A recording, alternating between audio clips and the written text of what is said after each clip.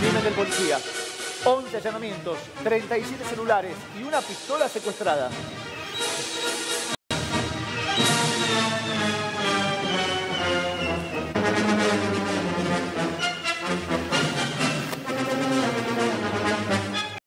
Arrodillate. Bien, Arrodillate, este es el gato. video que conmociona a Arrodillate. todos, porque ¿Te de alguna manera a los chorros a vos? Así actuaba la banda ¿Por qué te tengo que asesinó al policía en zona sur de la provincia de Buenos Aires. Exactamente, este video que estamos viendo, sí, es que lo trata de haberse quedado con un vuelto. Esta banda le- de le apunta a la cabeza. Le apunta a la cabeza, fíjate, el que escuchamos, el que vamos a escuchar ahora hablando y que vamos a escuchar hablando, es la persona que eh, fue detenida en el día de hoy justamente por el asesinato al policía. Pero escucha cómo actuaba.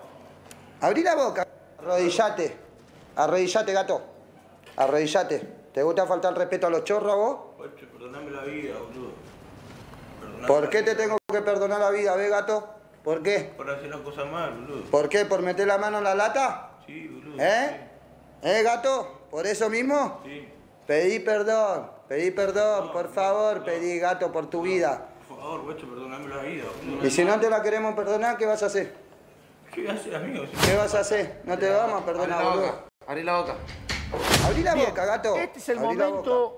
En donde el boli ¿Eh? e integrantes ¿Viste, de su banda amenazan, torturan a ¿viste? este otro joven delincuente que da la sensación les había robado dinero o se había quedado con droga. Sí, lo que nos dicen a nosotros es que esta banda sí maneja todo lo que es el trapito de una feria muy importante ¿sí? de la zona, maneja los trapitos. Entonces lo que nos dicen es que no le había llevado el vuelto y que se había quedado con lo recaudado en esa noche, en ese día de Para por entonces los esta trapitos. Persona es recaudador de la banda del, del. Correcto, correcto. Esa es la información que nos llega. Que esta persona que estamos viendo en pantalla era el famoso trapito que vemos a cotidiano todos los días. Entonces, ese dinero lo tenía que rendir y no lo había ido a rendir. La, la feria que es la salada. Exacto. La Bueno, feria era en salada. donde es, se mueve mucho, mucho dinero, Marco, muestran, muy bien. muestran esto para que quede como testigo Claro. de que si alguien hace lo mismo, lo linchan. Sí. Vos sabés que esto lo hacen en México. Los templarios eh, ahí en México hacen exactamente eso. Nada más que en México te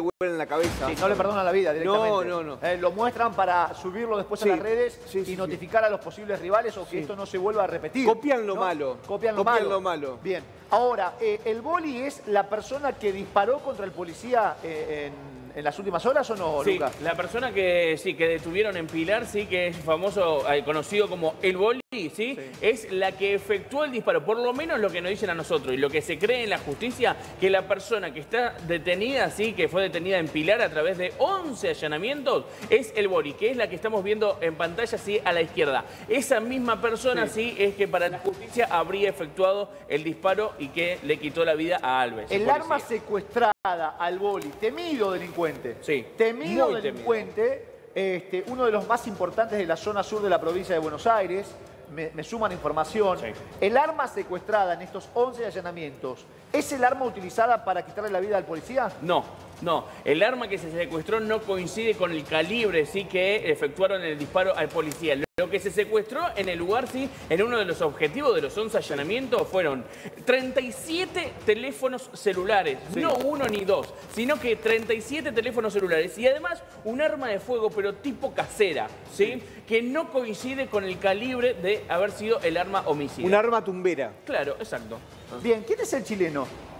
El chileno está totalmente descartado, ¿sí? Lo que pasó ese día cuando matan a este efectivo policial, le entregan, cuando pide la documentación el personal policial, le entregan un DNI de un chileno. Bueno, ese chileno no tiene absolutamente nada que ver, quedó descartado de la causa. Lo que habían hecho es tratar de confundir al policía, le entregaron un documento falso que tenían en poder de ellos, que había sido robado ese DNI. La lo que propia banda del boli. La propia cuando, banda, Cuando lo- el, el policía lo persigue, lo detiene y quiere chequear los datos eh, de, de la- los Del que iban dentro del auto. Un Vento era, ¿no? Un Vento, Un. Vento, modelo viejo, color gris oscuro.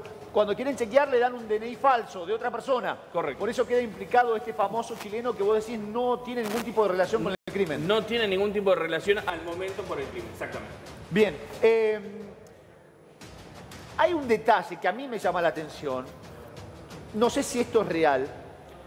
Cuando se acerca el policía a controlar la documentación de aquellos que viajaban en este auto, creo que uno de los delincuentes, para ganar tiempo o desorientar al policía finalmente asesinado, creo que le dice, pará, pará, no te acordás de mí. No sabés quién soy yo, no, no sabés, no, no te acordás de mí. Y pone en duda al policía. ¿Esta información la tenés vos también, Miguel?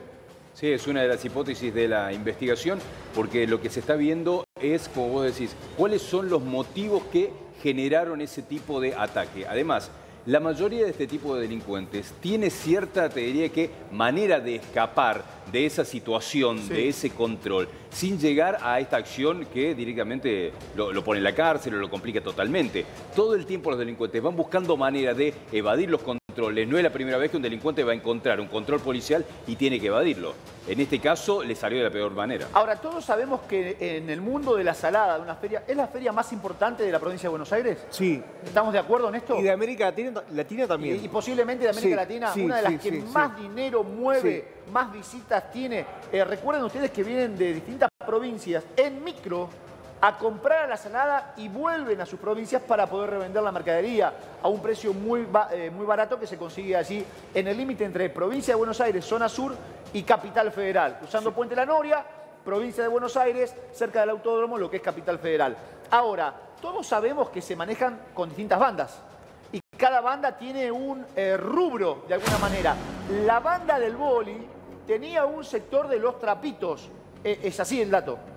Sí, y además, en, en todo lo que es la inmediación de estas grandes ferias, hay distintos grupos que no están vinculados directamente al comercio, pero que se aprovechan de la cantidad de gente que está en el lugar. Vos podés tener desde la banda de los trapitos a incluso, eh, llamale empresa informal que se dedica a darle seguridad al lugar.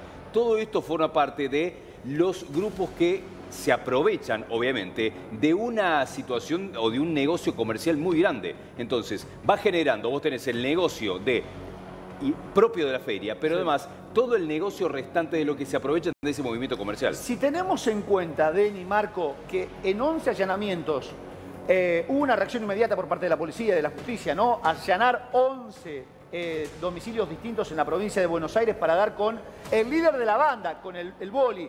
Eh, no se sabe si es el asesino de este policía. Ahora, secuestraron 37 celulares, lo que representa o nos muestra el poder de comunicación que tenía eh, este- esta banda, ¿correcto? Digo, cómo eh, tenía distintos integrantes para permanecer comunicados permanentemente. 37 aparatos celulares secuestraron, no estamos hablando de 4 o 5. Eh, Lucas, Sí, exactamente. Y además de los 37 equipos celulares, ¿sí? Se varios chips. ¿Por qué los chips? Porque eso de cambiar el número de teléfono para que no le intervenga la justicia el teléfono celular y se los pinche, para que se lo escuchen, ¿sí? Otra información, ¿sabés qué? También cómo se movía la banda. Utilizaba un vehículo que no habían hecho la transferencia, ¿sí? Lo habían comprado, ¿sí? Lo compró un familiar de que está prófugo, ¿sí? De 35 años de edad. Lo compró el familiar y nunca hizo la transferencia, o sea, se movilizaban en un vehículo que no tenían permitido utilizarlo, ¿sí? Por parte de la policía tenía la prohibición de circular. ¿Qué quiere decir? Ese vehículo cuando eh, lo detecte la policía, va a identificarlo. ¿Por qué? Porque no podía estar en la vía pública. Bien, eh, la imagen es clara, la hemos repasado, pero si quieren la podemos volver a utilizar. Es el momento, hay varios videos cuando el patrullero comienza a perseguir a este em, auto eh, modelo Vento de la marca Volkswagen. Este es el momento cuando detiene la marcha en plena avenida, Lucas, frente a una Es- estación de servicio muy conocida en la Sí. zona sur. Eh, bajan los dos efectivos, Sí. bajan de la manera correcta o hay eh, confianza por demás en los efectivos cuando bajan a chequear la documentación del auto. ¿Se entiende lo que estoy preguntando? Te voy a decir las mismas palabras que me dijeron muchos efectivos policiales. Lo- el policía actuó bien, pero se confió, dice. No es la manera de descender de vehículo a identificar. Se confió de que no estaban armados y que solamente le iban a pedir la Ahí se, dio, documentación. el- eh, ahí se dio el se- disparo. Exacto. Ahí se dio el disparo. Cuando el vento acelera y escapa, eh, se aleja, ahí se efectúa él o los disparos. Sí, tres disparos. Tres sí. disparos. Uno por la ventanilla, ¿sí? El que dispara es el colo, lo que nos dicen a nosotros, eh, perdón, el boli, Sí. lo que nos dicen, ¿sí? Que estaba de acompañante. Efectuó tres disparos, uno de ellos por la ventanilla y los otros dos por la luneta trasera del vehículo. O sea, tiró a matar. Cuando el policía estaba volviendo Pará, pará, ya pará, al pará. Entonces, pará, patrullero- pará, pará. Sí, Eh, al- el policía eh, que pierde la vida en el hospital, no en el lugar, no en el lugar. es la persona que va por el lado del conductor o el lado del acompañante. No, por el lado del conductor. Es decir, que el boli que iba de- del lado del acompañante Correcto. cruza el brazo, Cruza el brazo. dispara por sobre lo que es el rostro del conductor para dar o impactar en el cuerpo del policía. Exacto. Y vos hace un ratito me preguntaste justamente por el chileno, esa documentación que Sí. le habían dado. Lo que hacen es, uno mientras lo distrae dando la documentación falsa, el otro, una vez que el efectivo personal estaba distraído, ahí es donde efectúa el disparo. Cuando Álvarez salve- sale a correr hacia el patrullero, ahí es donde le efectúan los otros dos disparos por las lunetas traseras. Y hay un detalle, que este detalle se conoció hace muy poquitos minutos, Sí. es que el patrullero cuando Alves con- lo conducía hacia el hospital choca en el trayecto, ¿sí? ¿Por qué? Porque el conductor, que es el que había recibido el disparo en el cuello, se desvanece yendo hacia el hospital y choca en el patrullero. Claro, eh, muchos no entienden por qué el patrullero gira y sale del lugar en, eh, eh, en vez de seguir al, al- En vez de una persecución, al vehículo con los Claro, delincuentes. va al ¿no? hospital. Él se da cuenta de lo que está pasando y va al hospital. Claro, de la gravedad de la herida que tenía, él Sí. toma noción en el momento. Él estaba acompañado por una eh, por un efectivo mujer. Por Natalia, exactamente, una efectivo policial, sí, Sí. está acompañado, que una vez que chocan el patrullero, lo que decide hacer su compañera es tomar el mando de ese patrullero y dirigirse hacia el hospital, ¿sí? Un hospital que cuando llegan, el hospital bicentenario, Sí. cuando llegan lo que hacen es de- derivarlo directamente para que lo operen, pero pierde la vida en el lugar. Al Ahora, el impacto, eh, el disparo que recibe que lo hiere mortalmente y luego le quita la vida por parte de ese delincuente. Insisto, conocido, temido, eh, en lo que es zona sur de la provincia de Buenos Aires, en distintos municipios. Un hombre con poder en otros sectores de la provincia de Buenos Aires. De hecho, de hecho, lo detuvieron en zona norte, en Pilar. En un minuto te vamos a dar detalles del prontuario del boli y además el resto de los integrantes de la banda. En un minuto, quédate.